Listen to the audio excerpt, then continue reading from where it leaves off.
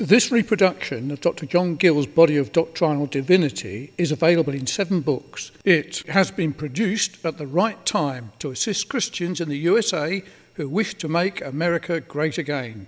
This is book six and treats the subject of the blessings of grace which come by Christ and the doctrines of grace in which they are held forth. This body of doctrinal divinity is the recommended textbook for Bierton Particular Baptist College based in Pakistan.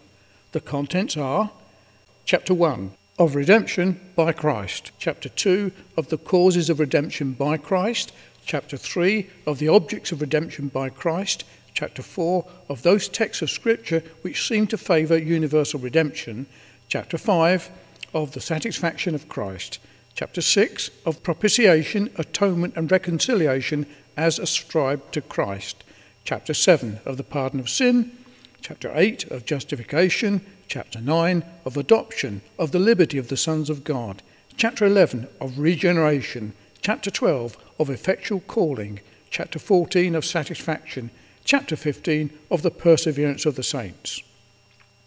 This classic treatment of Calvinistic soteriology is a prize worth reading and most valuable to fortify the mind of the Christian against the liberal views of modern day UK and American thinkers. It is the antidote to those holding to Islamic false teaching.